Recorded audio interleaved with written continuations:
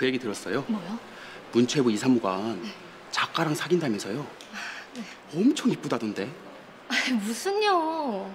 평범녀의 끝이래요. 그 미모가 아니라 집안이 좋대요. 국회의원 딸이라던데. 진짜요? 하긴 그 정도 되니까 사무관이랑 사귀겠죠.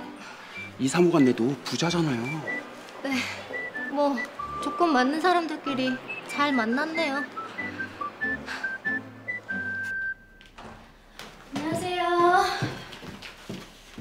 아니 작가님 지금 몇 시인데 이제 와요? 예? 아직 회의 시작 시간 안 됐는데? 평소 10분씩 일찍 오셨잖아요 아 이제 사무관님 여친이다 이거구나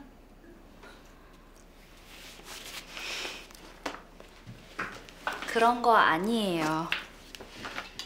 이제 앞으로 사무관님은 회의에 참석 못 하실 거예요 어차피 홍보 책자는 마무리 단계니까 나머지는 작가님하고 나하고 둘이 해도 충분할 것 같아요 네, 아까 연락 받았어요. 유물 발굴 관련 업무 때문에 바쁘시다고. 아 그래서 10분 일찍 안 오신 거구나 미리 연락받아서 나밖에 없는 거 아니까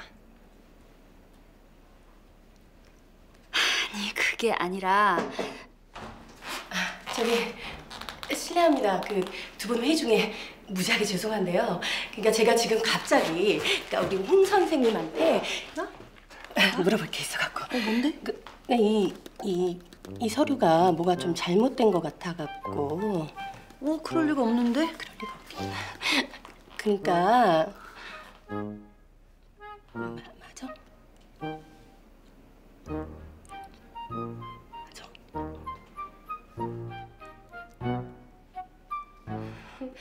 두 분이서 하실 말씀 있으신 것 같은데 저는 화장실 좀 다녀올게요. 다녀오세요. 뭐일 얘기밖에 뭐 쟤야 쟤. 봤지 어떻게 생겼는지 아, 정말 이건 아니라고 본다. 그 얘기 들었어? 뭐?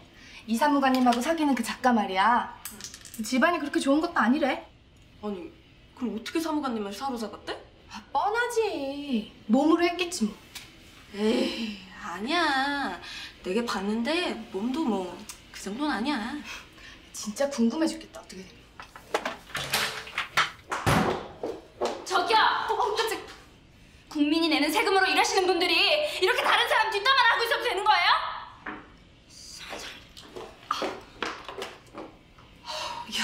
보통 아니다 진짜. 야 임마 아 12시 30분에 만나기로 했으면 제 시간에 와야 될 거 아니야. 어? 우리 같은 영업맨들에게 시간이 지- 생명이라고. 안다 알아 씨. 야 12시 31분이다 임마. 잘 지냈냐 씨. 야! 오랜만이네. 야, 씨. 나뭐잘 지내는데 너는 네 뭐 뭐하고 살았어 그동안? 아니 나야 뭐. 회사 옮기고 정신 없지 뭐. 야, 그래도 옮긴 회사가 좋긴 한가 보네. 요, 하, 신수가 좋아졌네. 근데 얼굴도 작아지고 자식아. 근데 네가 서울에서 여기까지 웬일이냐? 아 그냥 여기 일 때문에 왔다가 네 생각나서 온 거야 나왔습니다. 아, 와, 맛있게 드세요. 와. 내가 뭐 맛있는 거 아무거나 시켜놨어. 괜찮지? 아니 나야 뭐 아무거나 상관없긴 한데 야 난 근데 밖에 나와서까지 이렇게 김치 요리 사 먹는 사람들이 좀 이해 안 되긴 하더라 뭐라고? 이해가 안 돼? 물론 가족들과 같이 사는 사람들은 밖에 나와서 김치 요리를 사 먹는다는 게 아깝다는 생각이 들 수도 있지만 우리처럼 혼자 사는 사람들에게 김치 요리는 절대로 빠져서는 안 될 외식 메뉴라고. 가족들이 많은 집에선 그만큼 흔한 게 김치라서 오, 식탁에 올라와도 그만, 안 올라와도 그만이겠지만 우리같이 혼자 사는 사람들에게 김치는 곧 금치. 본가에서 한 포기, 두 포기씩 가져오는 이 소중한 김치를 한 포기면 몇 줄을 먹을 수 있는 이 김치를 이렇게 통으로 넣어서 김치찜을 해 먹을 수는 없다는 말씀. 게다가 이 서투른 솜씨로 함부로 나섰다간 이 금 같은 김치만 버리게 되는 불상사가 생길 수도 있다.